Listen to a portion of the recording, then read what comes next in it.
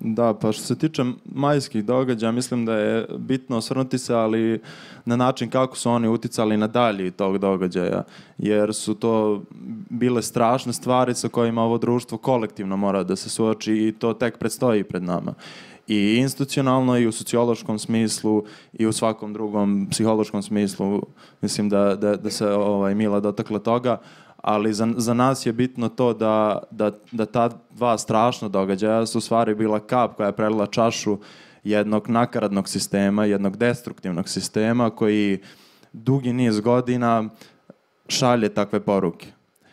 I kada vi imate jedan sistem u kome ništa ne funkcioniše, kada imate sistem koji šalje takve nakaradne poruke i mlade ljudi koji odrastaju u takvom sistemu, a institucije koje bi trebale da budu nezavisne u smislu institucija koje ne prate formiranje vlasti, koje bi trebale da reaguju na sve što se loše dešava, pa bilo ko da je na vlasti, onda dolazi do tačke pucanja, gde mladi ljudi odrastaju u jednim vrednostima u kojima su izgubljeni i dešavaju se takvi događaji.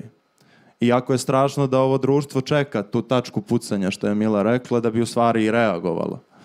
Mislim da je to u stvari bio neki balon u kom se skupljalo i da je bio potreban taj događaj da bi ljudi uopšte izašli na ulicu. I taj, taj osjećaj nezadovoljstva je u stvari bio iz žaljenja prema tom događaju, ali i žaljenja prema sobstvenoj sudbini zbog čega smo dozvolili da jedan takav sistem odradi to što je odradio, pa se to u suštini i desilo. I mislim da je, da je taj trenutak bitan za te proteste, jer su to bili najmasovniji protesti posle, posle tih događaja. Mislim da, da je to bila tačka u kojoj su ljudi stali i rekli pa ovde stvarno nešto nije u redu. Jeste da je meni žao što smo mi čekali da se nešto tako strašno desi pa da kažemo nešto nije u redu, kad već ono deceniju sve vreme nije bilo u redu. Ali ne znam da li je do mentaliteta, do našeg razmišljanja ili do čega, ali ovom narodu izgleda da su potrebni tako neki strašni događaji da bi se oni okrenuli i rekli pa stanite, ne može više ovako. Hvala. Ja bih samo još jedno stvar da kažem. Samo spominjemo nasilje stalno, pa mislim da je bitno da e, razmislimo malo o pojmu nasilje i šta bi to za nas sve moglo da predstavlja i zapravo da je tačka pucanja zato što je to nasilje u maju bilo i tekako vidljivo. I mi doživljamo da je nasilje samo kad te neko udari ili kada te na verbalni način uvredi bilo kako, a nasilje zapravo i nervoza sa kojom se susrećemo svaki dan na mestima gde ne bi trebalo da se susrećemo sa nervozom i to da čekamo negde gde ne bi trebalo da čekamo po 4 sata, to mi je sad prvo palo na pamet pošto sam čekala danas u banci 4 sata, a nije bilo potrebe za tim i koliko god sad to izgledalo banalno, naspram nekog velikog nasilja, ako uopšte možemo da merimo nasilje, uh, u nama se budi neka nervoza koja opstaje u nama, onda imamo potrebu da se nekako olakšamo, a olakšamo se tako što ne razmišljamo o problemima koje, sa kojima se susrećemo i što konzumiramo onda neke lake sadržaje koje na nas implicitno zapravo u velikoj meri i utiču da nam održavaju tu nervozu. I onda se ta nervoza širi u društvu i nemamo više potrebu, nemamo više ni snage da se borimo protiv onoga što je pred nama. Tako da nasilje ne mora biti vidljivo uopšte i to jeste problem što mi doživljamo da moramo da ga vidimo i opipamo. U svim je porama, tu gde se mi osjećamo neprijatno, gde nam je nelagodno, to je neko nasilje, jel, koje ljudi ili situacija e, izvršava nad nama. Tako da, ali što se tiče toga kakav smo narod, ja u to apsolutno ne verujem da smo mi e, mentalitetski zloban ili pogrešan ili ne znam, naopak narod. Mislim da problem dolazi uvek od gore, makar ako pričamo o državi i da ako ovako posmatramo jel, našu situaciju, ono što se e, nama dešava sada i ovo društvo u kakvo mi živimo je takvo namerno. Ljudi su smislili da mi živimo ovako danas i to se institucionalizovano, sistematski radi već ne deceniju, nego, evo, ne znam, neću da kažem brojku, koliko unazad dugo se to radi. Počeš i od medija, preko institucija, pa i do te nervoze koja se u ljudima održava da tinja i onda nama može lako da se manipuliše. Onda mi na kraju kažemo, ba, mi smo takvi, nismo mi takvi. Takvim nas hoće. Da, da. Uh, Pa ja, ja bih se možda sad nadovezala, mislim da smo dosta, dosta smo otvorili uh, tu temu institucija, nefunkcionalnost institucija, odnosno zapravo to da institucije funkcionišu na način koji su uh, jel, sad zamišljeno u, ovom nekom partokratskom sistemu. Uh, pa, pa ono što meni možda uh, bi, bi sad bilo interesantno da, da razgovaramo jeste uh, kad, kada se desio u nekom trenutku taj ta, ta neka promena što se tiče zahteva, gde pored tih koji su, po, koji su tu od početka, znači vezani za, za nasilje u društvu, nasilje u medijima, institucionalnu odgovornost, smo dobili taj zahtev da se zapravo dese, dese izbori u, jel, u ovim uslovima u kojima se, se izbori sad već godinama dešavaju sa nekom svešću o tome jel, kako, kako to izgleda. Uh, izbori koje, koji nisu na kraju pokazali neku uh, veliku, veliku razliku u odnosu što se tiče rezultata za opoziciju, u odnosu na, uh, na prošle izbore, a i takođe su bili prepuni brojnih neregularnosti i tako dalje. A, pa možda me zanima da, da dobijem vaše mišljenje, da, da, da, podelite vaše mišljenje što se tiče te promene u zahtevima a, sada iz ove perspektive, da li mislite da je to bilo smisleno, šta mislite da je moglo biti urađeno drugačije ili šta može biti urađeno drugačije u budućnosti? Da, bio sam tu kada se sve to dešavalo i to je bila jedna od glavnih kritika na proteste koji se zvali Srbija protiv nasilja, koje je kasnije preraslo u koaliciju. Glavna kritika jeste bila kao ljudi, ajmo da se fokusiramo na jedan, dva ili tri zahteva, da ne idemo na sve strane, da, da, da ne pokušavamo da, da, da ogradimo svaku livadu. Uh, i, I da, ja to vidim kao smislenu kritiku, zato što da, ajmo da nađemo najmanji zajednički sadržalac i na, njega da, na njemu da gradimo bunt, protest, šta već, ali takođe postoji još jedan problem. Znači, mi živimo u društvu koliko, iako sam se nasmejao, to je toliko tužno, da mi svaki dan imamo po nekoliko afera, strahota koje se dešavaju i onda se čak i ja, koji zapravo pratim političku scenu u Srbiji, nađem se kao u trenutku da kažem, ček, šta ono bi pred ne znam, tri dana, kakva se ono glupost desila.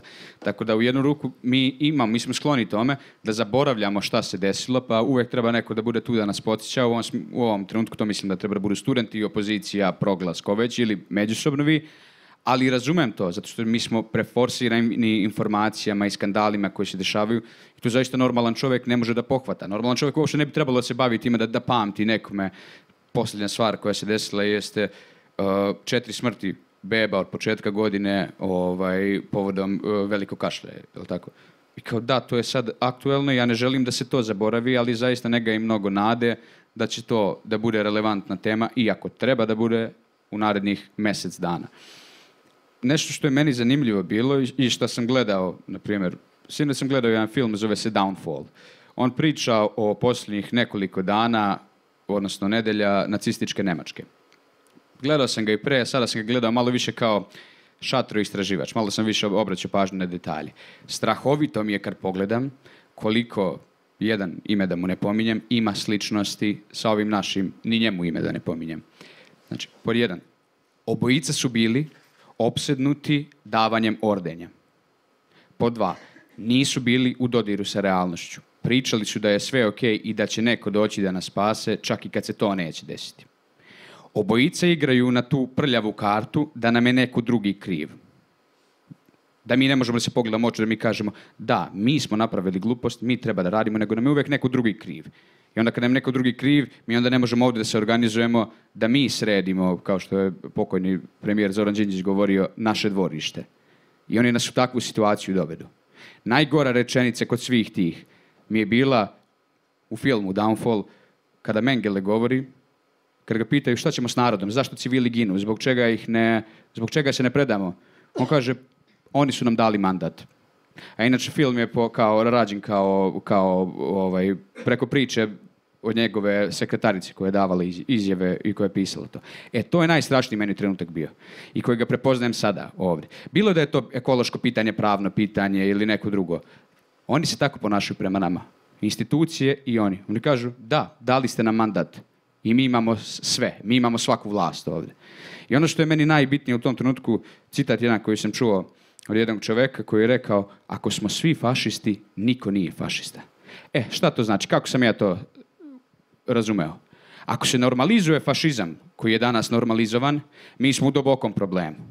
Ako od celog društva, ako postoje makar dvoje ljudi, na primjer, četvoro ljudi, vas prvi red, koji kažu ja nisam fašista, ja sam antifašista, ja se borim protiv toga, onda nećemo to normalizovati. I to je još jedan dodatni razlog kad pitaju zbog čega ja sam aktivista. Zato što ne želim da se fašizam normalizuje u mojoj državi. Bilo da smo mi da ćemo mi da uspijemo da pobedimo ovo zlo za godinu, dve, pet godina, ne, makar želimo ono svojim primjerom da kažemo ne, odbijamo da budemo fašisti, odbijamo da budemo kolaboratori, borit ćemo se protiv vas. Hvala.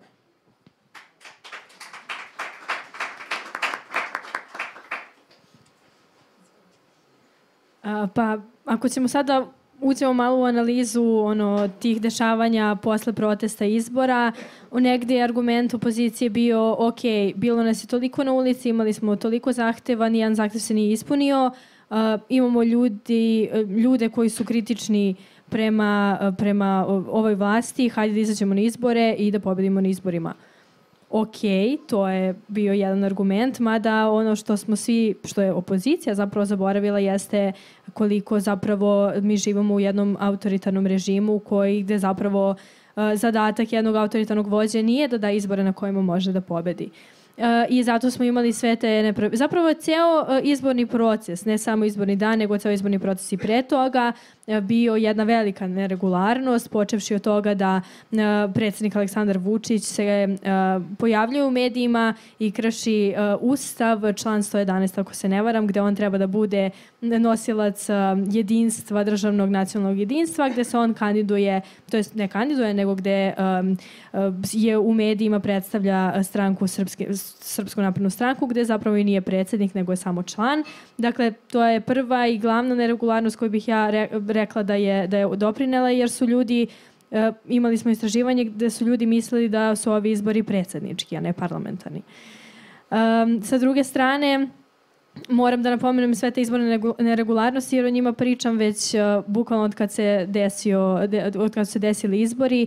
Dakle imamo organizovanu migraciju uh, uh, glasača iz uh, lokalnih jedinica gde nije bilo izbora u Beograd gde se menjaju prebivališta, gde imamo uključenost i policije, ministarstva državne uprave i svih ono ljudi koji su bili zaduženi za, za taj proces. Imamo takođe migracije birača iz, iz Republike Srpske, što je uticalo mnogo na, na rezultate izbora, pogotovo u Beogradu. Dakle, prekrojena je volja birača, to je rekla i crta, to su rekle sve i međunarodne i, posma, i domaće posmatračke misije.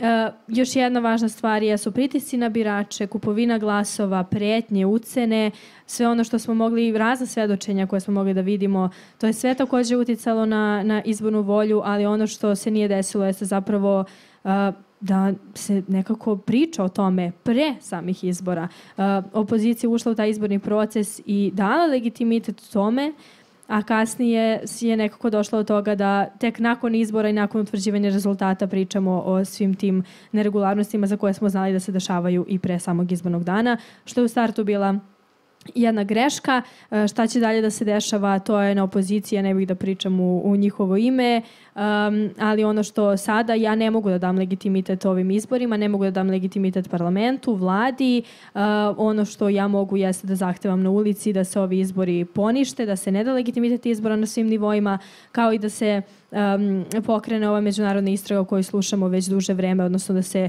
uključi i Evropski parlament i druge institucije koje mogu zapravo da, uh, da na najobjektivniji način sprovedu um, tu, tu međunarodnu istragu da zapravo vidimo šta se desilo u našem izbornom procesu, ali sa druge strane ne treba očekivati da bilo ko sa strane rešava naše probleme. Demokratiju nam niko neće dati, demokratiju nam niko neće obezbediti i fer i slobodne izbore nam takođe niko neće tek tako obezbediti. Na nama je da na ulici ili kroz institucije, ako je to moguće, a redko, redko kad je moguće, zahtevamo da, da imamo taj demokratski izborni proces što je najmanje što smo zaslužili. Jer u demokratskoj tranziciji živimo već 30 godina i ja ove priče slušam od malena, kako su nam izbori neregularni, kako samo što ne uđemo u Evropsku uniju, kako ćemo za pet godina da živimo bolje. Mm, ja ne želim da čekam još pet godina da, da živim bolje, nego želim da živim sad bolje i zato sam sada na ulici, zato se sada borim zapravo da ostanem u ovoj zemlji, a ne da odem iz nje.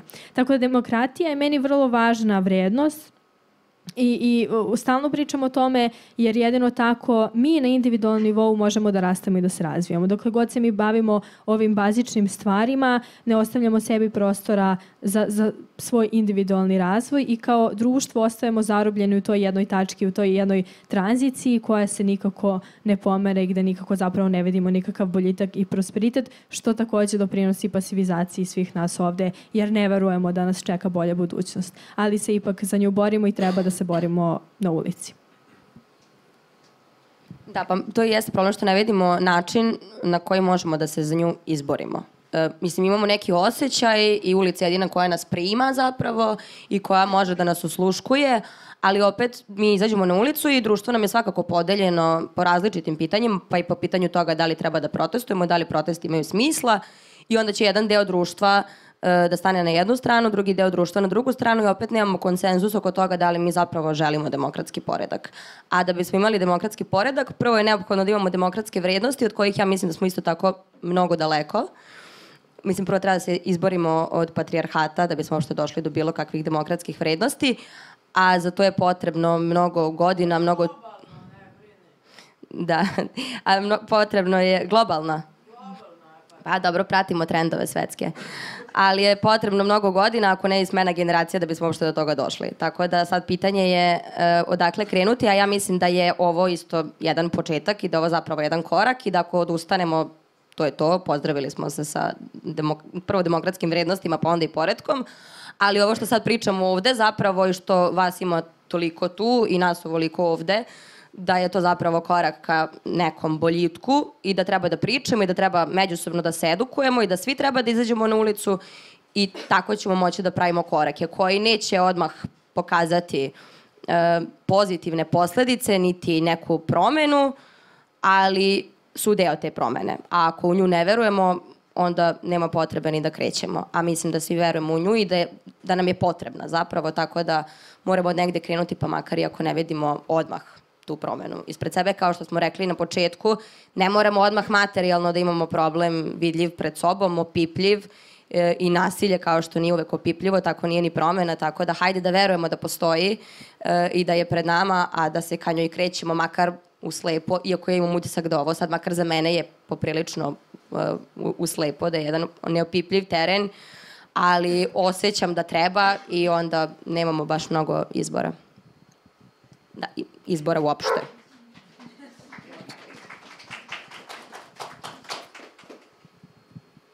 Pa mislim da je ovo samo ovo pitanje ovaj, o tome šta mislimo i mi o, o koracima koje je opozicija u stvari napravila, govori o tome odnosno baca u vodu sve one prozivke da su studenti strani plaćenici, domaći izdajnici i da sve što radimo, radimo protiv vlasti. Ne, ja mislim da svi ljudi koji su bili na ulici, a pogotovo zajednica studenta kao jedna slobodno misleća akademska zajednica je tu da kritikuje sve ono što nije loše, sve ono što nije dobro, a to se odnosi i na opoziciju, koji su u ovom trenutku uh, naši saborci u onome što želimo da promenimo. Tako da, ovaj, mislim da je opozicija od samog početka traženja, uh, odnosno raspisivanja tih prevremenih uh, izbora, uh, nije, nije bila dovoljno spremna na taj korak. I oni sami su znali da nemaju dovoljno kapaciteta i da ti potezi koji su oni povlačili nisu bili dovoljno promišljeni i da u organizacijskom smislu nisu mogli da priđu tom sistemu koji već onako baš postojano vlada ovom zemljom. Tako da tražiti po svaku cenu raspisivanje izbora prevremenih koji su već bili najavljeni za april sledeće godine sa regularnim, odnosno izborima za, za, ovaj, za opštine, lokalnim izborima, je po meni prvo bio loš korak. Jer biste vi u tih par meseci dobili prostora za bilo kakvu bolju organizaciju u tom stranačkom institucionalnom nivou. Na nivou odbora koje biste vi aktivirali u određenim lokalnim zajednicama, opštinama i gradovima. Tako da mislim da su bili na neki način poneseni onim protestima, da im je to dalo neki optimizam, nemam pojma, možda, možda je tu i neki egoizam proradio i da su se baš onako zaleteli. I da objektivno posmatrajući sa strane se videlo da nemaju dovoljno kapaciteta da to iznesu. E meni je najstrašnije što znajući da autoritarni lider ne bi dao prevremene, prevremene izbore, znači mi smo imali, on je najavio da će za dve godine raspisati prevremene izbore. Pa je kao na ustupak opoziciji dao još par meseci ranije izbore da bi on ispao dobar. I da bi on dao tako nešto da ne zna da će odneti pobedu. A vi onako nonšalantno i svi puni samopouzdanja izlazite na te izbore, smejete se, a nemate plan šta biste radili posle tih izbora. Vi sa ovakvim sistemom ne da treba da imate plan B i C, nego treba o svakom detalju toliko detaljno da razmišljate, jer znate da imate tako opasnog protivnika, koji bukvalno svaki detalj ono, razmatra do nesluđenih ono, sitnica. I mislim da je tu bila prva greška opozicije u tom zanosu i o očekivanju da će narod posle te, u meni, ne tako dobre organizacije, izaći na ulicu, a vi im ne pružiti tu institucionalnu podršku. Znači, na danu izbora, pošto se predviđalo, znali su nemoguće da će ti izbori proći bez bilo kakve neregularnosti, iako se nije slutilo da će biti ovakve neregularnosti koje se nisu, nisu pojavile ono, u nekim autoritarnim režimima koji su mnogo grđi od ovog našeg, vi ste morali da imate i plan za to. I za izbornu krađu, i za biračke spiskove, i za sve ostalo što je moglo da se desi. I da se odmah onu noć na izbornu noć, kada on u 10 sati izlazi i proglašava pobedu na 50% obrađenog primjerka, da se izađe na ulicu i da iskoristite taj izborni entuzijazam tog dana i da kažete ne. Ali opozicija zanesena dobrom izlaznošću u Beogradu, izlaznost je bila preko 70%, znači to da se ne varamo na ovim izborima je u Beogradu postignuta znači fenomenalna izlaznost su čekali da će se možda u onom ostalom procentu desiti ta neka promjena jer su ti rezultati bili jako blizu. E to ne sme da se radi. To je po meni na neki način politička nepromišljenost i neiskustvo. Eto toliko o opoziciji da ne bi duže. Ovo zvuči kao kritika, ali mislim da smo tu i da kritikujemo i njih. Imam ja zapravo samo jednu stvar da dodam. Ovaj, Mislim, ja sam igrao košarku 12 godina, iako se možda ne vidi po mojoj visini. Ovaj, ali ono što nam je uvijek trener govorio, i sve se igrali smo u Kragovicu protiv nekog tima, i kad ono najgore deluje, izađeš i boriš. Iako to sad ponovo deluje, kliše ovako, onako, to je jedina opcija, izaći i boriti se. Ja zaista nisam ni za kakav bojkot izbora i slično. Ja samo želim, ne hvalim opoziciju, ali želim da kažem, treba da držimo fokus na jednom mjestu. Ko nam je ukrao izbore, ko nam je ukrao glasove, ko je dovodio ljude iz Republike Srpske i iz ostalih gradova. Pa njihova taktika već to bilo. Posađajte se vi međusobno, vi se međusobno, da prostite na izrazu, pokoljite, a onda kada se vi završite međusobno, mi ćemo da uđemo i da preuzmemo vlast. Ono što ja govorim konstantno ljudima, fokusirajte se na temu. O Srpska napredna stranka i socijalistička partija Srbija, Srbije su nam protivnici u ovom trenutku. Ne želim da se međusobno svađamo. Ja imam jedan pristup koji često praktikujem, evo primjera na Evropskoj uniji. Ja jesam pro, pro EU. Ja izbjegavam da kritikujem Evropsku uniju u društvu rusofila ili euroskeptika. Zbog čega? Zato što ne želim da im dajem dodatni vetar u leđa da oni mogu da kritikuju. Ja Evropsku uniju isključivo kritikujem sa ljudima za koje znam da su provereno pro EU. Isto tako primenjujem to za opoziciju. Ja opoziciji imam mnogo toga da zamerim, ne kritikujem je javno, kritikujem koliko treba, privatno najviše kritikujem. Ako želimo nekome da pomognemo, ja mislim, verujem da svi želimo da, da pomognemo na taj način, jer je to predstavnička demokratija, nema uh, posredne odnosno neposredne demokratije. Moramo imati predstavnike. Ako želimo da ti ljudi nas predstavljaju u parlamentu, moramo njima predočiti šta se dešava i da njih savjetujemo kako bi trebalo ili kako ne bi trebalo da se radi, a ne da javno idemo i, i, da, i da kritikujemo njih. Kakvi god da su, možda nisu najbolji, to je jedino što mi imamo u ovom trenutku. Tako da bi ja volio da, u tom, da, da ne postoji to dodatno razilaženje u opozicijonom biračkom telu. Hvala.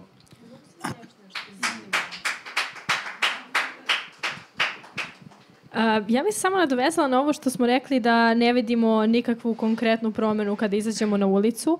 A, tačno je da mi nemamo nikakvu nagradu opipljivu da možemo kažemo eto pobedili smo, ali ono što, kako ja uvek volim da mislim o tome jeste koliko smo zapravo sprečili da se neke stvari dogode. Koliko smo, primer, protestom protiv akušarskog nasilja sprečili, odnosno doprineli da se rode neke zdrave bebe, a to ne znamo. Koliko, smo, e, koliko je zapravo posle tog protesta, koliko su lekari imali veću svest o tome da ne treba da vrše akušarsko nasilje. Koliko je zapravo s- svaki naš izlazak na ulicu doprineo da se još mnogo gore stvari spreče. Ako nemamo neku promenu koja je opipljiva i za koju možemo se uhvatimo i kažemo to je naša mala pobeda, imamo one stvari koje smo sprečili, a nikad ih nismo videli, doživeli i odlično što je tako. I nijedan izlazak na ulicu nije besmislan, nijedan izlazak na ulicu nije za džabe, nijedan izlazak na ulicu nije da ne donosi nikakvu promenu. Možda ne donosi promenu, ali sprečava još gore stvari. A dobro, tako je za sve u životu. Mi sad prvi put živimo i šta god da radimo, mi ne vidimo da smo nešto uradili odmah. Tek kad se okrenemo, ja sad mogu da kažem, ja pre dve godine šta sam radila, budi Bog s nama.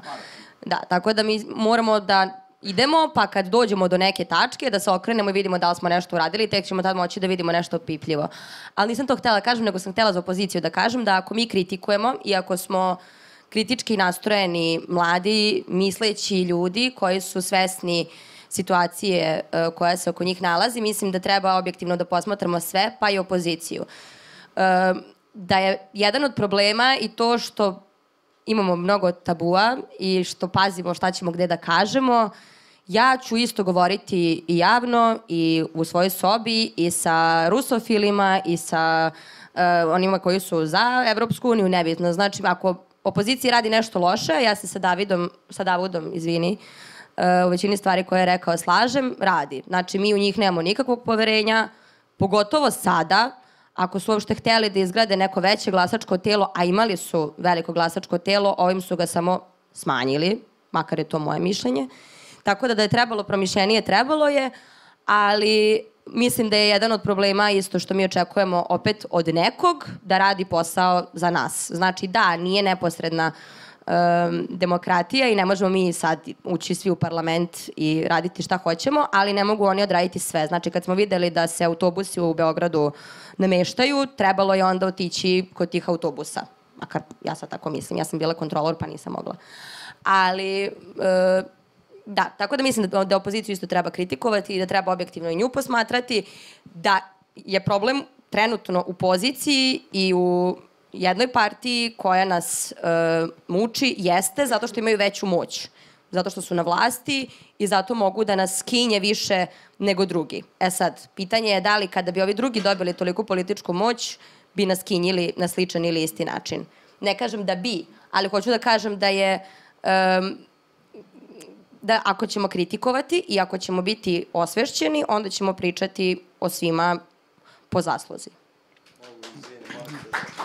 Samo da ljudi ne pomisle da sam ja neki špion SNS sad ovde, pa sam iznao jako dobru kritiku opozicije, ali mislim da ovaj da je u stvari to i stvar na, na studenta da mi treba da budemo ta prva ruka slobodno misleći pa u, i, i to akademskih mi je jako dobar atribut koji, koji treba da, da bude tu ovaj, i da ćemo kritikovati sve ono što nije dobro pa i u opoziciji, ali da, da to treba da voditi do nekog razjedinjenja i um, rušenja i stvaranja nekih paralelnih ideja, ne. Ali treba se čuti taj glas. Znači, mi na neki način možemo biti u nekom trenutku opozicija opozicije i sugerisati im na nešto što se nama ne sviđa, jer će imati našu podršku na ulici i hoćemo znači, da, da oni možda i razmisle o nečemu što mi pričamo, ali ne da to vodi u neko razjedinjenje ili bilo šta.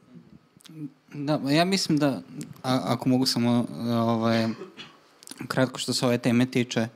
Ovaj, mislim da je bitno da, uh, da se otvoreno razgovara o pitanjima uh, taktike, o pitanjima uh, toga šta treba raditi i kako treba raditi, jer mislim da ako se te, te ideje ne iznose otvoreno, nećemo doći do do konkre, kao korektnih rešenja, naravno. Mislim da je bitno to što si ti iznao, kao, napomenuti da, da možda je važno ovaj, održati tu, ne, tu neko jedinstvo i, i tako dalje, ali ne, ne moraju se stvari uvek uzime, uzimati nužno, ni, čak ni kao kritika, nego prosto je kao, ovde smo da, da, da razgovaramo o idejama, da razgovaramo o tome, da. Da. Ovaj, I ne, negde s tim u vezi i, i nekako ovo je tema koju smo već, koju ste već pogotovo vas dve negde otvorile. Uh, ono što, što sam još htala možda da razgovaramo jeste uh, kao, o, ovo, je, ovo je zapravo jedan u nizu sad kao već od 2017. možemo reći talasa protesta uh, gde imamo Uh, pro, uh, imali smo prvo uh, proteste nakon predsjedničkih izbora te godine, onda smo imali 2019. Uh, proteste jedan od 5 miliona, pa 2020. tokom pandemije proteste uh, i mislim i, i do, uh, do prošle godine i sada ovaj, sa ovim protestima. I nekako mislim da, da, uh, uh, da, da bi bilo korisno da negde reflektujemo Um, mislim, možda još uvijek nije, nije sad trenutak za to, možda ćemo to tek znati za 5-10 godina, ali koji su, koji su to zapravo efekti koje, koje naše, naše izloženje na ulice zapravo sad već svih ovih godina uh, ima i uh, koji, su neke, koje su neke putanje uh, ka dalje, kao št, na, na koji način možemo da prevazićemo možda neke ove um, pad pozicije u kojima se nalazimo. Uh, videli smo da, uh, da su bile izborne taktike, vi, videli smo da su bile i taktike bojkota izbora uh, i, i, mislim i, i sve i svašta drugo između. Uh, pa kao, zanima me prosto da čujem vaše neka mišljenja, kao šta, šta je ono što, što smo postigli i na koji način možemo da idemo napred. Pa mislim, pre svega ja zaista verujem da niko odavde nije proživeo jedan normalan dan u poslednjih 11 godina. Znači mi smo konstantno, naše društvo je konstantno u stanju krize i zbog toga imamo ovoliko protesta. I to je ono što ponavljam, nešto što nije normalno se normalizovalo. Sve kao, e, kao protest, je, super, kad ćemo na protest? Ne, ljudi, pod jedan, ne bi trebalo da ima ovoliko protesta zato što bi trebalo institucije da rade svoj posao. Da ljudi koji rade svoj posao da rade, a oni koji ne treba da rade, poput našeg predsjednika Vučića, ono što ne treba da radi, ne treba da radi. I oni su doveli ovo društvo do apsolutne šizofrenije, do paranoje. Čekaj, ljudi, zašto mi non stop na ulice idemo? Mislim, znam odgovor, ali kao je li moguće da se stvarno to dešava? Kada pričamo o, o, o, o učinku, postoje neki učinci, ja zaista voleo bih da su veći, ali mislim, očigledno nije takva situacija, ali, na primjer, kada pričamo o, o protestima Srbije protiv nasilja i o periodu od maja do, do evo, januara, skoro i februara, nekoliko stvari se mi se stvarno desilo. Prva stvar, zaista se okupila na prvom mestu jedna fantastična ekipa studenta, koja je jako brojna bila u jednom trenutku. Paralelno se okupila jedna fantas- fantastična ekipa mladih ljudi, mladih aktivista koji isto na, slične principe kao mi deluju. Van institucije, neki čak i u, insti, u institucijama, ali to, to je svakako kao, e- evo nas, nova energija. Mislim, jel znate ono glupo pitanje gde su mladi, gde su mladi, gde su mladi? Znači, mene mrzi da odgovaram na to pitanje. Ja zaista jedini odgovor na to pitanje mi je kao, ajde da se pojavimo, da se vidi da nas ima, pa makar da me više ne pitaju kao gde su mladi. Uh, šta se još desilo? Da, proglas, evo na primjer, proglas. Javne ličnosti, uh, glumci, profesori, ljudi okupili su se i rekli su, e, nećemo, nećemo ovo da radimo. Kao, ne, ne pristajem da živim u ovakvom društvu, pobunit ću se protiv toga. Mislim da je to takođe strahovito veliki učinak donelo. Iako ga možda ne vidimo kako smo hteli u rezultatima, potencijal je tu, potencijal je tu i tu je. Ono sledeća stvar što je meni bilo, mislim, možda neverovatno, zato što nisam u uličnim protestima ono decenijama i decenijama, ali kao sinergija i komunikacija proglasa studenta, mladih, opozicije, nekih aktivista, političkih aktera, kao da, to, to, to, to mi je kao najveći ideal koji mogu da zamislim. Ljudi, ajde da pričamo međusobno. To što si to što je neko srednjoškolac, to što je neko stariji političar, kao ne znači da ne, da ne mogu da imaju komunikaciju međusobno, već treba da pričaju i treba da se uvaže kao, što sam malo pre rekao, za savete. Zaista ti, čak i stari političari ili aktivisti treba mene da uvaže ili neko koji je još mlađi od mene, kao, e, stvarno imaš nešto pametno da kažeš i da vidimo da to uradimo. Tu mi se baš svideo zapravo i, i, i, protest na poslednji protest u 2023. godini. Kada je proglas organizovao protest i opozicija je bila tu i studenti su bili tu. Pa kao da, ajmo da pokažemo tu sinergiju, ajmo bre da, da svim ujedinjenim snagama krenemo napred u, u obaranju ovog fašističkog diktatorskog režima.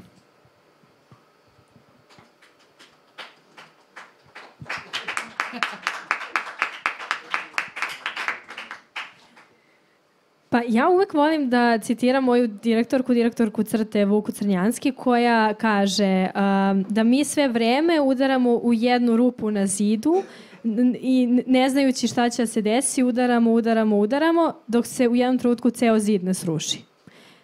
Mi čekamo taj trenutak da se jednostavno sve sruši. I nema malih pobeda. Ima samo jedna velika pobeda i jedan veliki cilj. Ali ono što ja sam, opet ću da se vratim na to, koliko smo stvari koliko smo stvari mi sprečili. Cilj je, kao što je rekao uh, Pavle, iskoristio zapravo neke termine s kojima se ja ne slažem, ali fašistički, diktatorski, ne bi se složili s politikološkog ugla. Tako je, ali kad do, zapravo ne daj Bože nam dođe diktatura. Ovo je sada stvarno strašno, ali ako koristimo termin diktatura, nećemo znati da smo u diktaturi kada dođemo u diktaturi, nažalost. Ali ono što sam htjela kažem, koliko smo mi stvari sprečili, koliko, zapravo sprečili smo, na primjer, zakon, novi zakon o policiji, gde policija bi mogla da nam upada u stan bez ikakvog ono razloga, da to nismo sprečili, sigurno bi svima nama ovde upala policija i sad bismo već bili ko zna gde.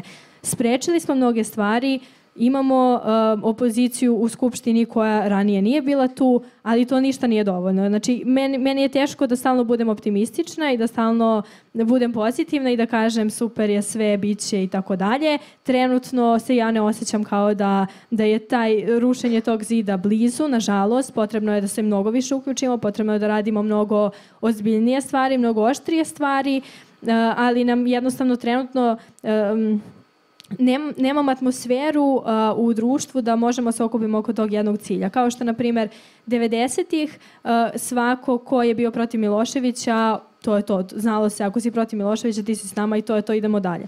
Sada trenutno ne vidim da postoji ta kohezija u društvu gde smo svi protiv Vučića, na primer, i da možemo se okupimo oko, oko tog cilja i da krenemo ono u napad, politički napad.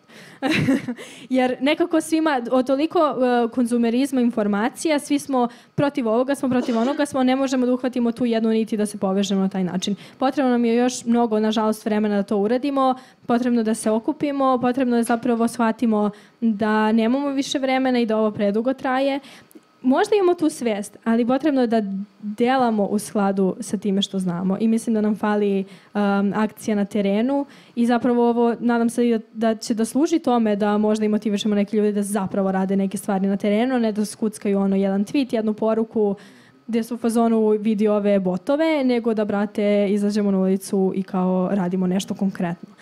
Tako da meni fali te akcije uvek se nerviram kad nekako vidim neku stvar i hoću da radim svašta i puna sam ideje i hoću da eksplodiram, hoću da se raznesam ispred skupštine i hoću da se, znaju neki ljudi tu moju ideju da hoću da se ošišam na nulu ispred tužilaštva i da kažem ovde ima nula odgovornosti pa se ja šišam na nulu.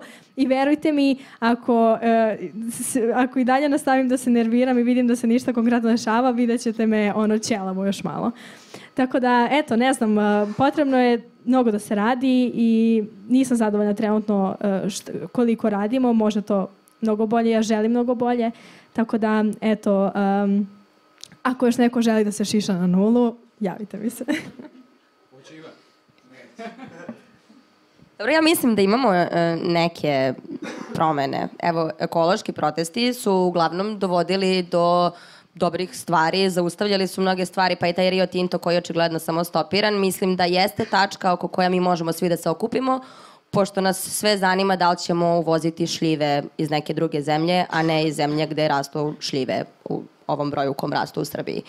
E, šljive nećemo imati ako nam bude curio litijum u zemlju, tako da mislim da, ćemo, da smo svi toga svesni i da u trenutku kada bude trebalo da se brani naše dvorište, ali bukvalno naše dvorište, da ćemo se onda malo osvestiti. Znači da nam je ta skupština u Beogradu malo daleko, malo strana, nismo svi svesni e, svojih prava, pa na kraju i političkih prava, ali i građanskih prava i da onda ne osetimo e, na koji način nas evo ta izborna krađa e, na koji način ona utiče na nas, ali ako ne budemo imali vodu da pijemo kao što u Zrenjaninu već 20 godina nema vode za piće, mislim da ćemo onda, iako se Zrenjanin još nije digao, ne znam zašto, kad nemaju vodu, mogao bi, ali da u tom trenutku zapravo ćemo se okupiti oko jedne tačke. Ja se nadam. Zato što ljudima prete.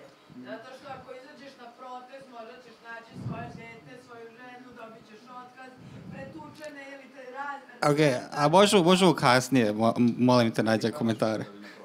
Ali ekološki protesti dovode do promena i zaustavljaju mnoge stvari, samo što imam utisak da mi ne znamo dovoljno o tome jer nam brane da saznamo, to je ono što smo pričali i o mini hidroelektranama, ali tako, koje su uh, bili uspešni protesti, ali mi nismo znali za to zato što ne dolaze do nas te informacije, dolaze konstantno negativne informacije i to mnoštvo negativnih informacija. Danas se desilo ovo, juče se desilo ovo, danas se desilo pet stvari, ja više ne znam na koju stranu, da li ću da protestujem u Beogradu ili u Mitrovici ili ću da osmislim neki novi protest, a zašto uvek protest?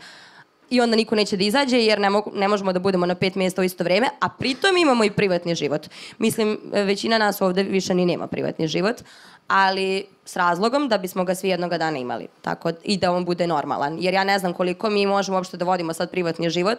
Ako ja idem na fakultet filozofski koji bi trebalo da bude potpuno otvoren za mene, a kada dođe do toga da se e, bira studentska organizacija, ja na listi imam jednu opciju. I to nisu izbori, a kad kažem to nisu izbori, onda mi kažu izađi iz ove grupe, ti ne pripadaš ovde. Tako da e, to onda nije ni privatni život i onda mi ni ne treba takav kakav je. Ali zato svi moramo sad da se, jel, kao što je Emilija to lepo rekla, pokrenemo i da nešto radimo. Prvo da bismo, makar ja krećemo od toga, mislim da smo svi sebični u prirodi i da je to sasvim u redu i krećemo od sebe. Meni je muka da ništa ne radim. Ja ne mogu da sedim kod kuće i da vidim kako nam se ruši nešto. I je naš ko imam potrebu da nešto uradim. Pa ajde da krenemo od toga da nas nešto malo boli u stomaku, imamo neke leptiriće, ne znamo šta nam je, pa izađemo na ulicu i vidimo, makar da se izderemo da je to super i zapravo izbacimo mnogo energije i vratimo se kući spremni za ispit. Pa da, u, u smislu, odnosno razmišljajući sada o tome šta, je, šta nam je taj proces tog konstantnog izlaženja na ulice već duži i duži period doneo Ovaj, ja se nekako uvek vratim na to šta mene motiviše, zbog čega i ja kad god da se razočaram i na ulici i dođem kući i razmišljam da li ću sledeći put izaći, uh, tražim negde ovaj, motivaciju da se pojavim opet, jer shvatam da sam ja jedan od te nekolicine ljudi koji su opet izašli, koji shvataju šta se dešava, koji znaju šta se dešava i osjećam odgovornost da budem tu. Znate, znanje i razumevanje nosi neku vrstu odgovornosti i mislim da bi trebao da budem tu, pošto razumem, jer ću time možda doprineti da neko pored mene ko u ovom trenutku ne razmišlja o tome i ne razume, da će početi da razmišlja pa da će u nekom doglednom periodu možda i on doći tu i pokrenuti taj lanac. Ovaj, Mislim da ovaj narod mora da nauči da govori, isto kao što dete morate da naučite da vam kaže šta, šta nije u redu, šta, šta mu smeta, šta ga boli. Tako i jedan narod u jednom demokratskom sistemu mora da nauči da govori. A građanska neposlušnost je taj govor kroz koji, kroz koji civilno društvo u stvari kaže šta mi smeta u tom sistemu koji ja uređujem. Tako da svi ovi protesti pa i od 90-ih na ovamo su u stvari samo jedan deo jednog velikog procesa i mi ne treba da se zanosimo da smo mi ti koji ćemo doneti neku veliku revoluciju, jer smo imali jednu revoluciju koja je bila onako baš, imala je veliki zamah, pa smo videli da smo se opet vratili. Mislim da treba da budemo pametni, da razmišljamo u sitnim koracima, i da znamo da smo mi samo u stvari jedna karika u tom čitavom procesu demokratizacije u kojem se naše društvo nalazi pa rekao bih dug vremenski period u odnosu na neka ostala društva koja su to pregurala. Ali tu smo gde smo i hajde da se trudimo da ako ne mi, da bar naša deca, iako znam da se ova floskula jako puno ponavlja, ali moramo da smo svesni da je ovo jako dug proces i da u tom procesu demokratizacije mi treba da damo sve da bi možda sutra živjeli bolje mi ili neko drugi posle nas u ovoj državi. Ja bih mo možda postavila još jedno pitanje koje je meni negde ovaj, možda bitno a, pre nego što otvorimo prostor za publiku, de, ako ima neke komentare ili pitanja. A to je zapravo nekako i s ovim izborima, a pogotovo nakon što, uh, svega što se izdešavalo sa izbornom krađom, uh, fokus javnosti je zapravo bio baš uh, mnogo na Beograd i na, na beogradske izbore. A mislim da vi svi, ako se ne varam, niste iz Beograda, vi ste svi iz, ovaj, iz različitih mesta po Srbiji. Um, I nekako uh, zapravo me zanima uh, vaše neko viđenje toga, uh, da, da li zapravo uh, promjena stvarno, će stvarno doći iz Beograda i kao da li mi koji smo van Beograda imamo neku ulogu da igramo u tome koja je uloga koju ćemo mi igrati u tome ovaj, i zapravo naši, naši lokalni izbori, pošto nisu samo ni lokalni izbori bili raspisani u Beogradu, bili su još, još nekim mestima i sad, bit će sada ovaj, uskoro za, za koji mesec ovde i kod nas u Novom Sadu. Ovaj, tako da mo, to, to je negde meni, mene bi možda zanimalo, uh, pa možemo posle ovaj, Da. Samo prvo da se osvrnem na, na, na uh, paralelu između diktature, fašizma i uh, trenutnog režima. Mislim, da, teoretski ovaj, ovaj režim bi se nazvao hibridni, hibridni autoritarizam, ali to je kompetitivni autoritarizam, ali nekako to mi je previše ono loose term, previše mi je blago. Tako da da, svakako ima i pre- premise i fašizma i diktature i zato mislim da ne treba imati milosti u političkom i nenasilnom smislu prema njima. A što se tiče, sada to što ste postavili kao pitanje za lokalne izbore i zbog čega je fokus bio na Beogradu, pa moje mišljenje je da je zapravo fokus bio na, Beo- na Beogradu, zato što Beograd zaista jeste imao najviš, najbolje prognoze da se pobeda odnese u Beogradu, ali i zato što su najveće malverzacije, zato što se najveće malverzacije zapravo desile u Beogradu. Znamo svi šta se desilo u areni. Uh, stava sam da ne treba da se zanemare ostali incidenti i ostali izbori na lokalu, negde su bili, negde nisu bili, ali ako se to desi, ja idem ovim razmišljanjem, ako se, ako je ovakva malverzacija mogla da se desi u Beogradu, pa šta, šta će se tek desiti u Užicu koji je toliko, odakle sam ja inače, koji je toliko puta manji grad. Tako da ponovo se vodim onim onom rečenicom, ni na jednu nepravdu ne treba ćutati, jer ako ćutiš na jednu, desit će se druga, treća, peta i doćemo do sistema gde pravda uopšte ne postoji, nego da je sve nepravda samo zato što smo, nismo reagovali na jednu nepravdu. Tako da, svaku nepravdu treba, treba se suočiti sa njom i pogledati se u oči i reći, ljudi, ovo ne može ovako. Što se desilo, između ostalog, moja koleginica Emilija je bila u, u, u, u Briselu sa još jednom našom koleginicom Stašom i pričala pred visokim evropskim delegatima i predstavnicima o problemima koji postoje. Ovaj, Izbori da, bit će na proleće. Mislim da opozicija treba podhitno da se dodatno osnaži. Mislim da treba da postavi prioritete i da već sada naprave taktiku. Jer smo za prethodne izbore, odnosno koji su bili na kraju 2023. godine, imali situaciju gde su izbori raspisani, gde mi nismo znali, gde smo mi u tom trenutku nagađali kao, e, hoće li biti izbori na proleće, na leto ili sad u decembru. Ja sećam da je to ono, mi se ono imenica bi- bila izbori u decembru. Problem je bio takođe koji, eto, situacija je takva bila da nisu stigli na vreme da se pripreme, zato što su izbori raspisani 40 nešto dana pre, pre samih izbora. Mislim da je ovo situacija gde treba ljudi, i studenti, i mladi, i opozicija, da se međusobno organizuju, da međusobno pričaju. Ajmo da vidimo ko će da budu kontrolori, kontrolorke, šta god, posmatrači.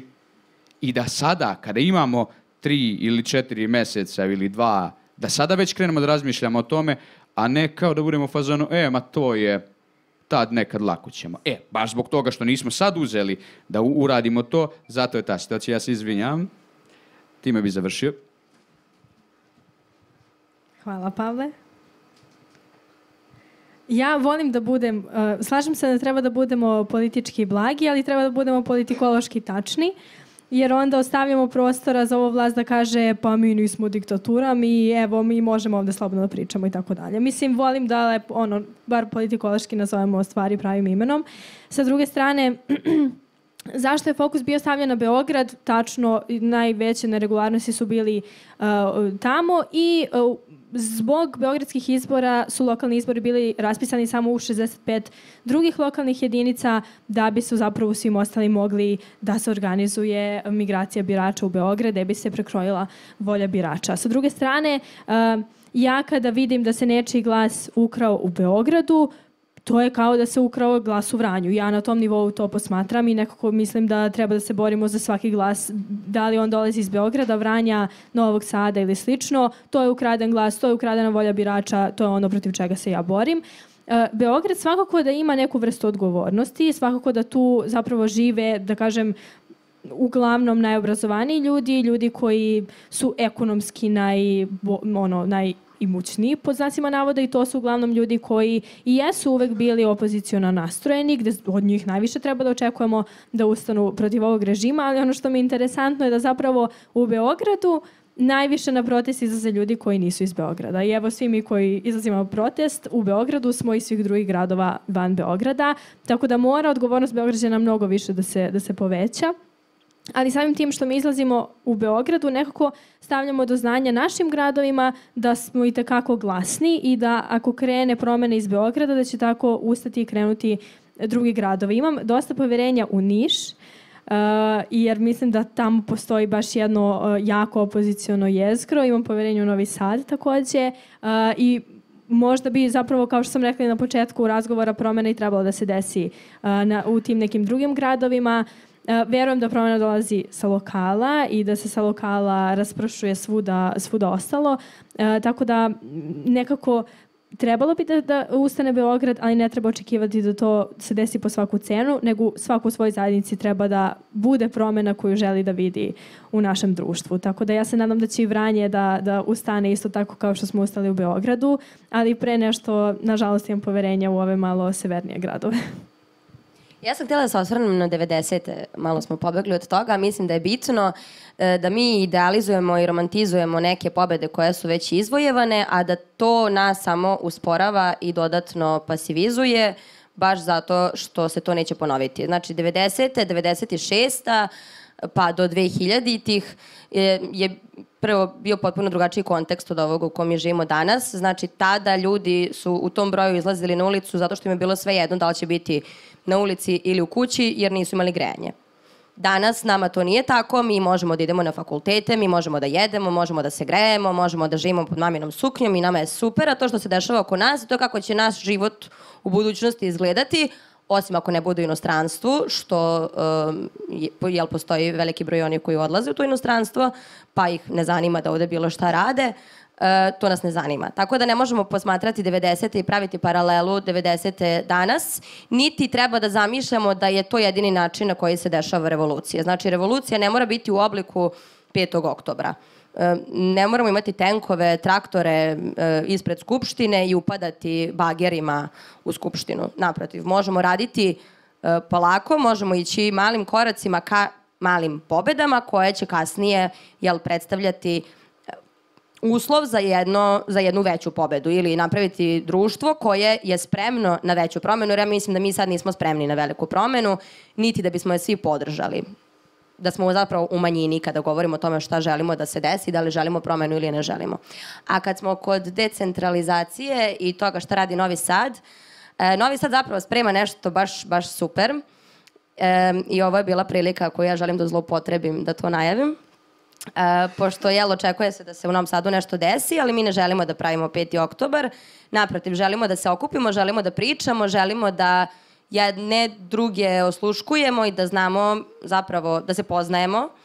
Tako da je jedna grupa novosadskih studenta, između ostalog i ja, odlučila da napravi jednu neformalnu grupu, nikad ne znam baš koji naziv da iskoristim, ali meni se sviđa inicijativa, zato što inicijativa je već pokretački, jel, malo zvuči, da, da, da.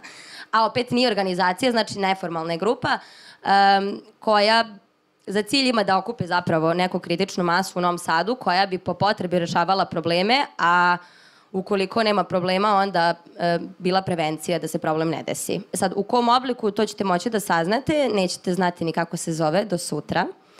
E, sutra u podne, onaj ko je slobodan, a nadam se da će vas ovo sada inspirisati i da vas je inspirisalo, pošto smo besni, jesmo besni?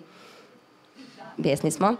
E, sutra u podne na kampusu kod spomenika Njegoša, gde smo se prvi put okupili kad smo išli za Beograd, koji nam je takođe dao e, jednu mrvu inspiracije, možda čak i kolač inspiracije. Um, tamo ćemo se okupiti sutra u podne, a ukoliko želite da dobijete više informacija, a sigurno sam da želite, je li ovo papir, Huba? Jeste. E, e, vidjet ćete višnju, hubu, luku, baneta, oni će držati neke QR kodove i možete da se priključite u jednu WhatsApp grupu koja će oživeti tek sutra. E, I tamo ćete dobiti zapravo detaljne informacije, ali poenta jeste da sad se bude inkognito i tajno i zanimljivo kako bismo e, zapravo sutra postali zvanična neformalna grupa, koliko god sad to bilo malo absurdno, formalno neformalna grupa, tako je. E, I evo pono, da ponovim, koja ima za cilj da okupi ljude koji neće aktivno svaki, neće svako od vas aktivno učestvovati u nečemu, ali koji bi želeli da kada se nešto desi, e, budu okupljeni na jednom mestu, znamo da se to dešava i možemo da to odmah rešavamo ili da budemo prevencija tome. Tako da pozivam vas sve da se e, prijavite, ako ne znači da niste dovoljno inspirisani, pa ćemo morati to sad da obojimo još.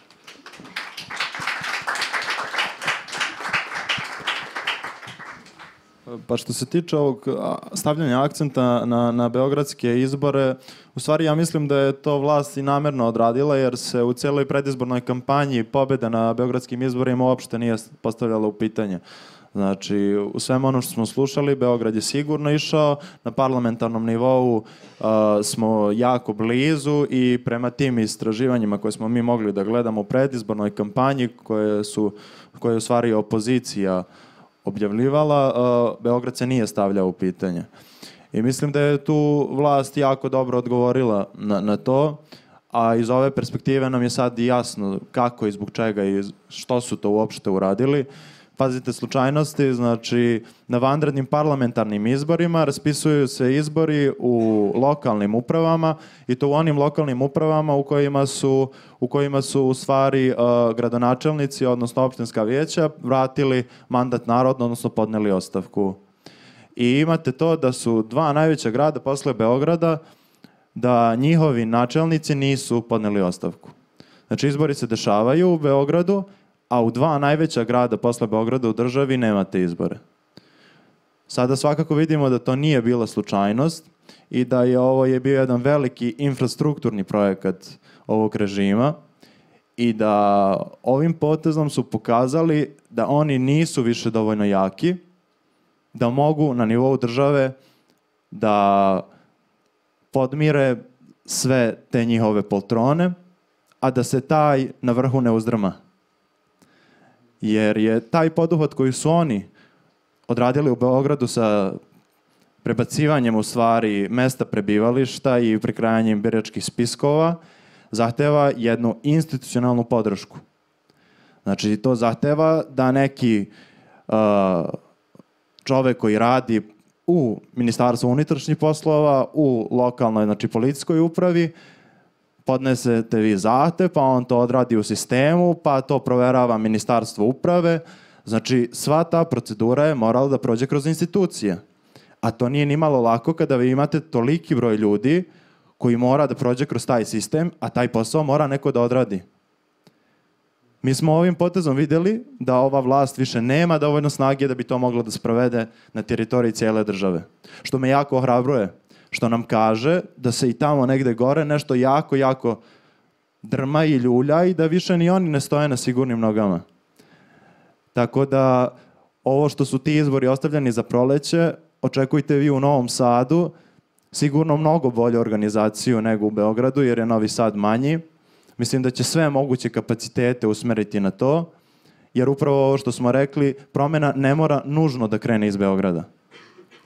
Do sada je to bilo tako i sada je to da najviše kapaciteta i opozicijonog, znači biračkog tela jeste u glavnom gradu, jeste znači tu u Beogradu, ali to ne mora nužno da bude tako.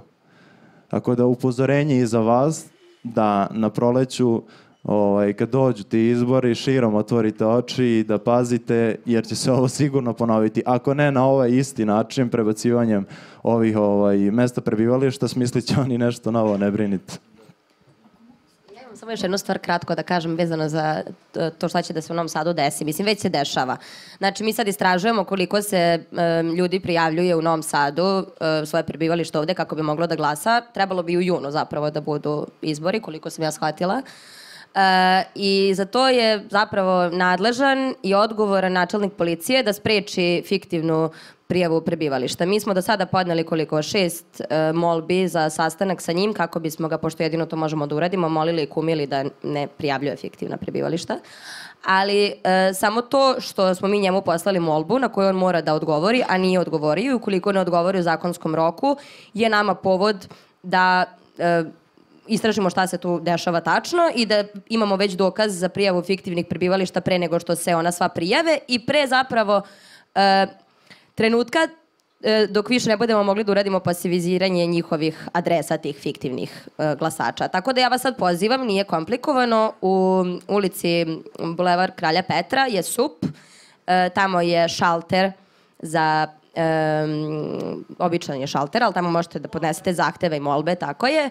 Napišete molbu, možemo je podeliti ono što smo mi napisali i potpišete se svojim imenom, oni vam to ispečatiraju i vi ste podneli zahtev za sastanak sa načelnikom. On se neće desiti, tako da ne morate da se plašite da će vam to proći, ali ćemo mi imati dokaz da smo podneli zahtev na koji on nije odreagovao, znači radi nešto sumnjivo čim ne želi da se sastane sa nama.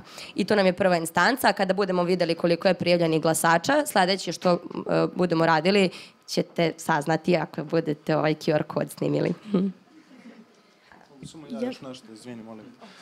Mislim da je, da je ovo ovaj, o, tačka u kojoj sada treba da se, da se opoziciono delovanje usredsredi. I znači, zahtevi koje je opozicija podnela i nevladinih organizacija i posmatračkih misija, ali nas i kao građana.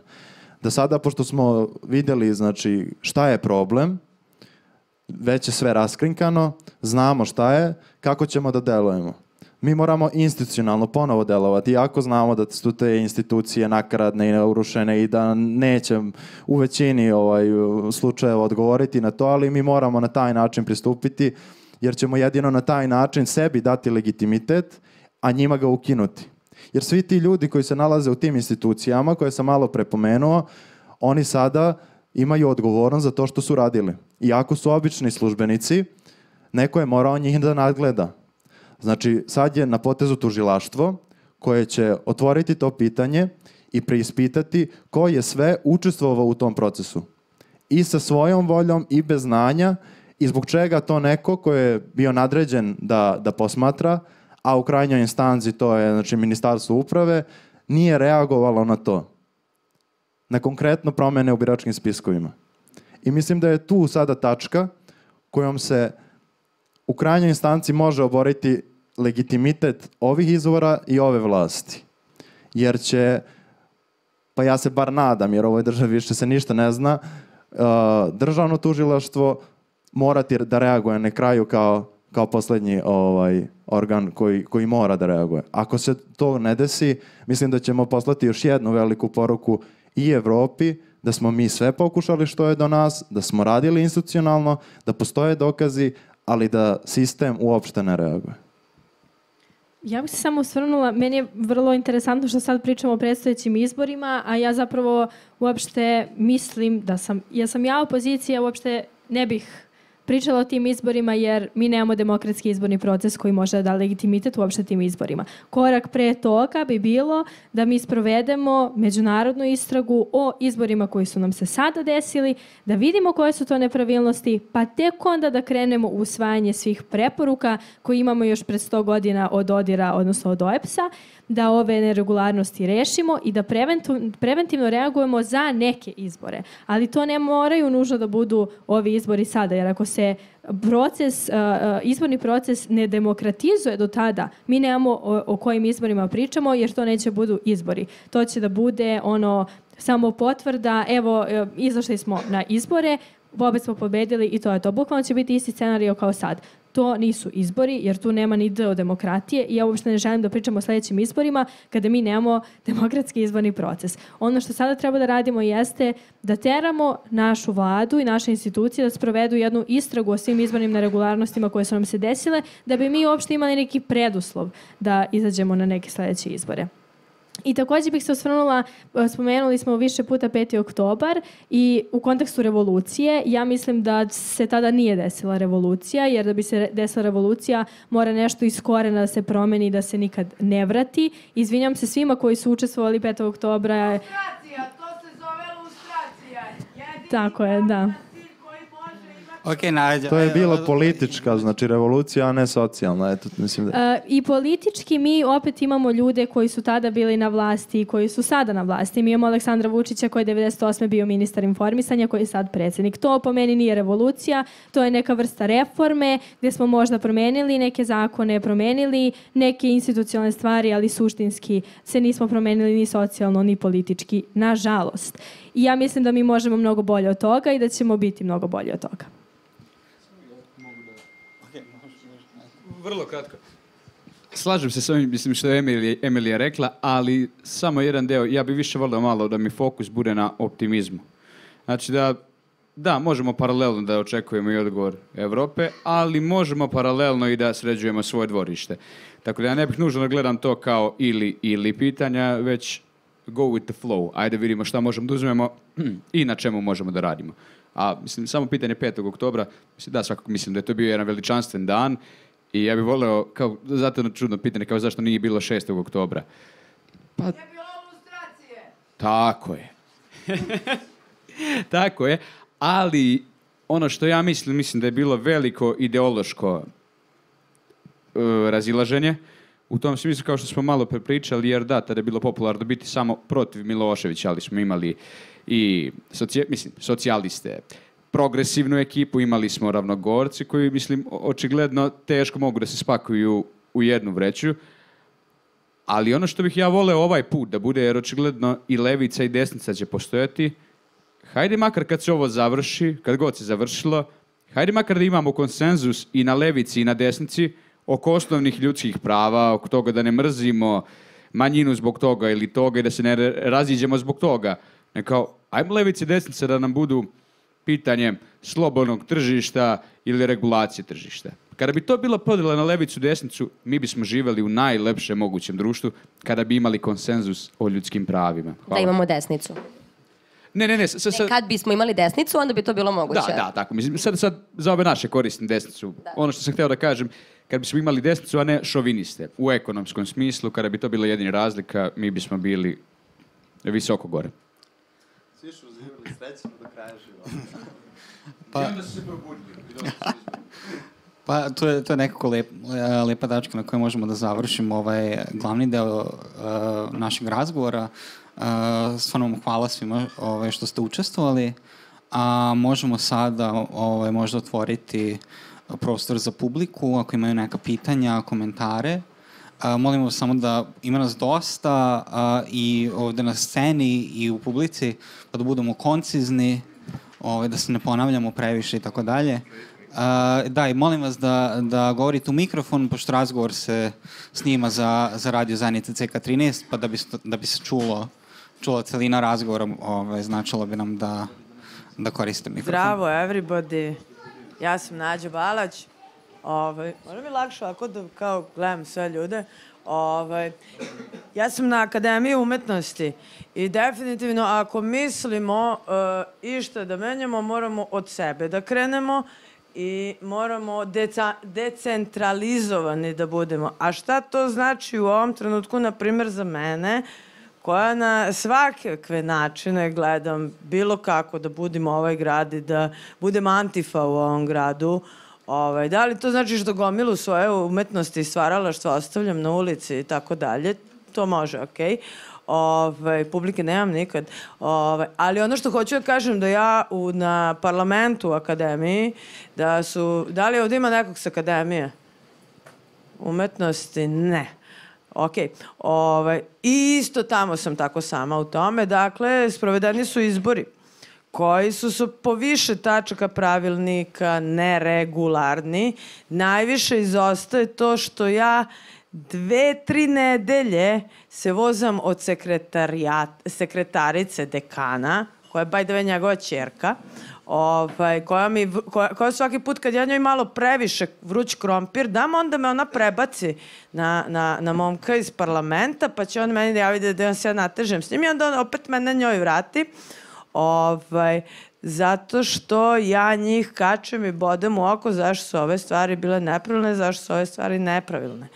E, da, ono što ja hoću da kažem je da i vi morate na svojim fakultetima i svojim parlamentima gledati da se stvari e, dešavaju fair i da se rade pravo stvari, jer e, zatvoriti univerzitete na koje inače po statutu je zabranjeno policiji i vojsci da ulazi i to uvek možete. Ovaj, to, to ono kad biste imali kolege koji su vam i drugari, ovaj, to bi bilo zaista lepo.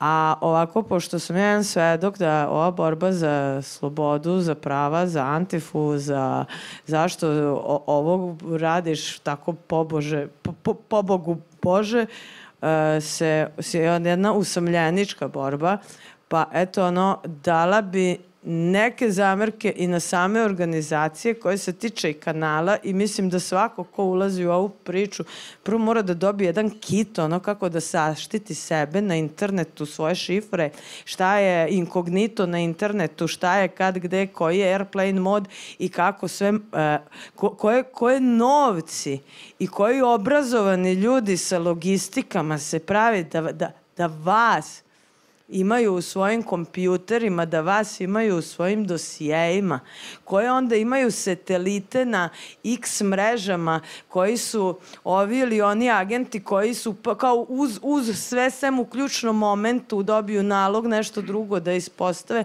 a ljudi se ne vide u, u, u grupi prograsa. Čim sam ušla, napravila sam video, rekla sam ljudi, ovo su vam stavke kako da se zaštitite, ovde sigurno ima u, i u ovoj grupi ubačenih elemenata. Sve sam ih povadila. Sve sam ih povadila da očito bude na svima na grupi. Da su oni tu i ko su. Ja to radim isključivo iz svojih ideala i ono što hoću ovim putem da kažem je da znam da nisam sama u tome i da niste ni vi sami, ali da mora se i raditi na decentralizaciji i Beograd mora to da krene. Uh, živjela Vojvodina.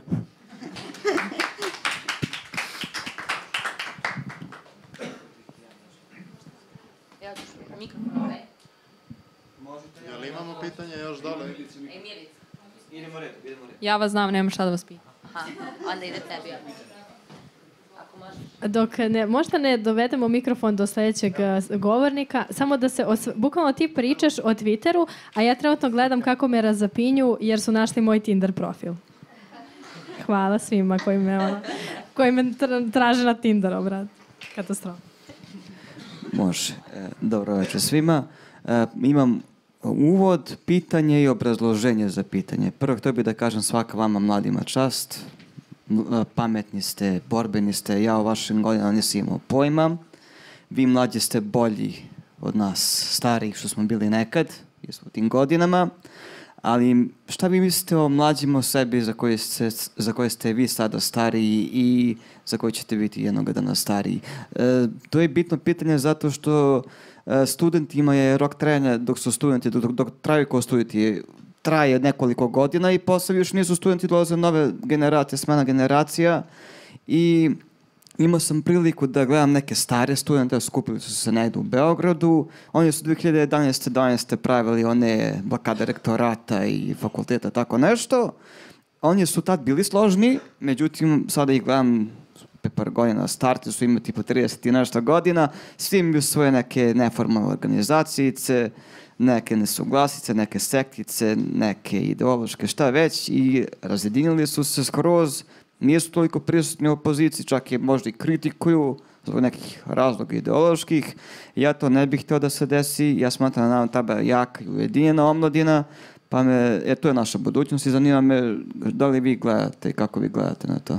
Hvala.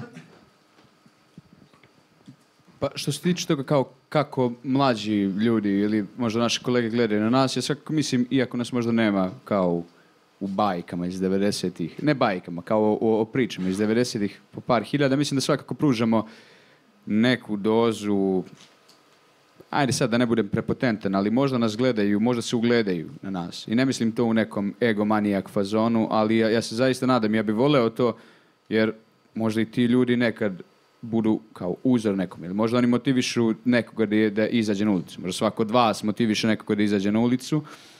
A što se tiče kao kohezije i, i, i ujedinjenja svih studenta ili svih mladih, kao for that matter, uh, mislim da je dosta bitno da postoji i da se raščlanimo na nekoliko grupa, zato što je veoma teško kon- ne kontrolisati zapravo, raditi sa jednom velikom grupom, ali je mnogo lakše kada imamo nekoliko grupa, autonomnih grupa koje će raditi negde i koje će biti u komunikaciji i koje će sarađivati. Primjere radi.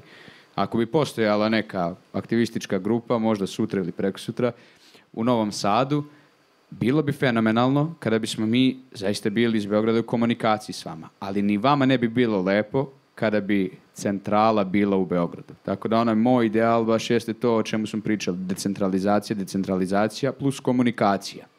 To je trenutak kada se, kada se dolazi do, kada se ono, pobedi stvar. Sličan princip kao stranke. Ja, kao, ne, ne treba da postoji jedna velika stranka kao to je to, mi smo opozicija. Ajde 15 strana kada bude, 10. Ne znam, možda je to i kontraproduktivno, ali ajde da pokušamo. Ajde nek bude desetak organizacija koje će biti širom Srbije, ajde da pričamo i zajedno da pravimo akcije. Shout out za sviće. Ja e, mislim da mi kao in- ono mi kao mi, individualni in- individualci, ljudi sami po sebi nisu toliko važni. Važno je, važna je ideja i važan je cilj. I važno je da to opstane i kad mi nismo tu. Svi smo mi zamenjivi, ali jedan cilj, jedna ideja treba da postoji koja će da se nastavi i generacije posle nas, da, da nastave e, tu istu ideju i tu, taj isti cilj i da ono, bukvalno Nažalost, ja imam isti cilj kao što je imala moja majka 90-ih, a to je da konačno živimo u demokratskom društvu i mislim da je ta negde ideja i dalje tu, ali treba da zapravo svi budemo svesni toga i ako svi radimo u korist te ideje, bez obzira da li smo u jednoj e, formalno, neformalnoj grupi ili u dve ili u ne znam koliko, svako na svoj način treba onako kako može da doprinosi to, toj osnovnoj ideji i osnovnom cilju. Svi treba da odgovorimo. E, ja, ja ne imam osjećaj uopšte da sam ja sad tu e, više, da više učestvujem od bilo koga od vas koji su bili na ulici. Naprotiv, mislim da smo svi samo e, pa, jel, saborci i saborkinje. I to je to. Ali da imamo jedan motiv, a to je da motivišemo jedni drugi. I mislim da je jako bitno da se motivišemo međusobno, konstantno, svaki dan, makar jedan na jedan, pa onda grupa na grupu, pa onda neformalna organizacija na neformalnu organizaciju, pa da se na taj način povezujemo, ali da se pre svega motivišemo i da stalno ponavljamo zašto smo tu i šta mi radimo. I mislim da je zato jako bitno održavati i bes i da je bes zapravo jedna pokretačka e, emocija koja je vrlo bitna ukoliko je kanalisana, a ukoliko smo zajedno može i da bude kanalisana. I ja sam izuzetno besna i na to sam izuzetno ponosna. Tako da, eto, savjetujem i vama da e, šta god vas čini besnim, konzumirajte to tako pomalo i kanališite, tako što ćemo da se udružimo pa zajedno da kanališemo taj bes, ali da ga održavamo. Pa mislim da je generalno prisutan taj faktor bi- ovaj, biračke ovaj, neizlaznosti na izborima od 90-ih pa na ovamo to uveliko sve pada, a to je zbog političkog razočarenja, znate. Mladi su sve više apolitični, tako da ja želim da se nadam da, da ćemo mi možda biti poslednja generacija koja će morati ovako veliki teret da nosi na leđima i da neki klinac sutra sa 20 godina neće morati kao ja da razmišlja o tome komu je na vlasti, komu je predsjednik, šta radi, kakve su bile izborne neregularnosti, već da će moći da se bavi nekim, nekim drugim stvarima. Na meni je da se nadam.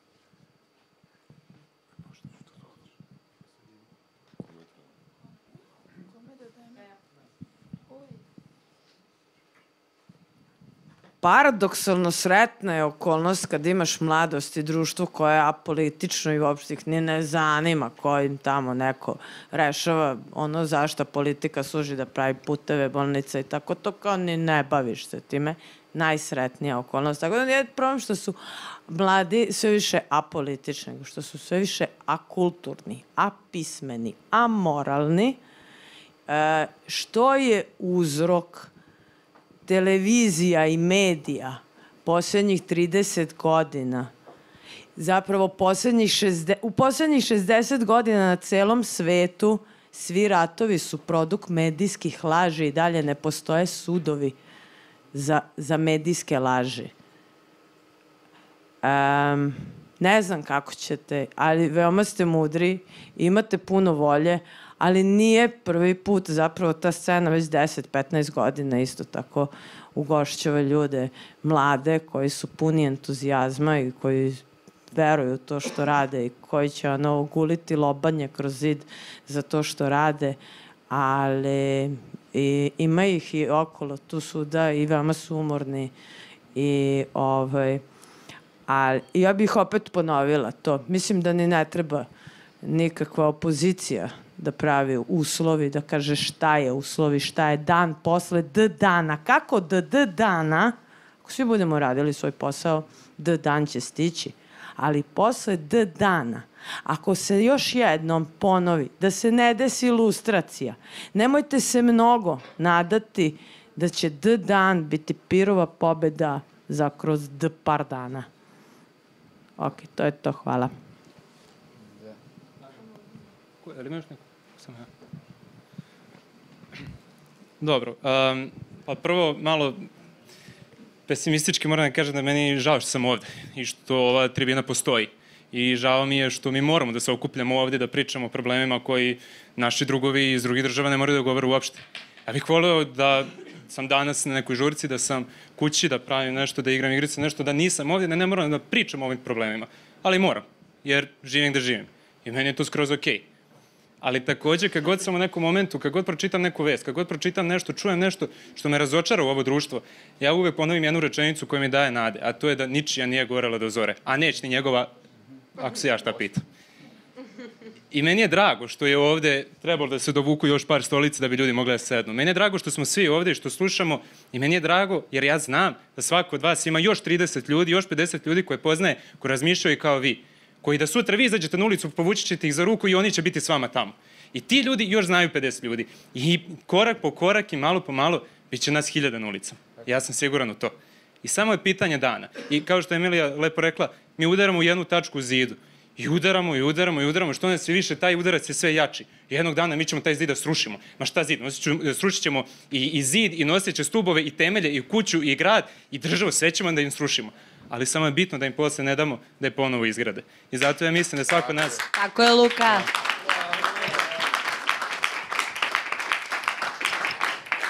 I zato bih volio da sad svako od nas ode kući ili gde god da ode i da ne zaboravi na ovaj razgovor ovde da uvek ima u glavi to ničija nije gorela da zore neć ni njegovala.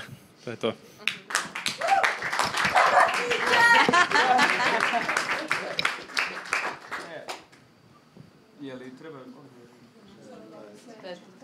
Ja bih možda imao samo da dodam na sekundu, a to je da, da, pored medija i pored okolnosti u kojima živimo, mislim da smo mi od najranijih dana obučeni da budemo nemi na politiku i da budemo poslušni. Mislim, ja već neko, neko vreme ponavljam tragikomičnu rečenicu, odnosno parafraziram, kao kad pita učiteljica majku kakav je u školi, ona kaže dobar je poslušan je. Kao i mi smo poistovetili poslu, poslušnost sa dobrotom. Kao to što neko nije poslušan, ne znači da nije dobar. I mislim da je to jedan način, ne, ne postoji krivac tu konkretno da kažemo on je kriv, ali mislim da društvo cijelo nekako kao da je prihvatilo taj narativ poslušnost. Nemoj se mešati. Vidjet ćeš kad porasteš. Ma šta ti znaš mladci? Sve ovo što sam rekao, suštinski sam protiv toga. Da, jesam mlad, ali da znam da, ovaj, poslušan sam, odnosno ne poslušan, nego da, pristojan sam, ali nisam svima poslušan. Tako da mislim da to treba također da bude trenutak koji će možda mladima da prelomi u glavi i da kažu ajmo da ostavimo mi pristojnost na jednoj strani, a poslušnost i- klimanje glavom na drugoj strani. Jer ja mislim da nas je to dovelo ovdje. Ja sam samo htjela da kažem jednu stvar, ali baš kratko. Da se nadovežem na ovo što je sad Luka rekao, što je bilo izuzetno moćno i, i dobro i da me je podsjetilo zapravo na ono što je najbitnije, a to je da svaki put kad mi padnemo ili kad se ja osjećam da mi baš nije dan ili kad smo išli u Beograd, a nije bilo baš ni jednostavno, svaki dan za redom i onda se svaki dan vratim kući umorno, neko ne mogu sutra i onda dođe Luka i kaže ajde. I onda Luka sutra bude umoran i onda jel, ja moram da mu kažem ajde. Tako da dok nas je, dok smo tu i dok jedni drugima govorimo ajde, mislim da će ovo sve vrlo lepo funkcionisati.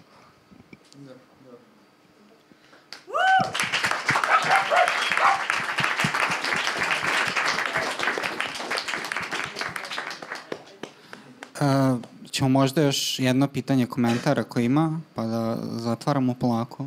Smrt fašizmu! Mislim, ako nema, onda to je isto okej. Uh, da, ovaj, takođe uh, bih da napomenem da će biti još ovakvih događaja, svakako mislim Crna kuća ovde za, uh, postoji da bi se tematizovale uh, sve bitne teme u društvu, uh, a sledeći četvrtak bi trebalo da bude uh, isto jedan događaj koji organizuje uh, Ovaj, mislim, da, ni- nisam sigurna ko učestvuje tačno u organizaciji, ali... o, Niko nije. Svi mi, mislim ako budete skenirali QR kod, svi mi.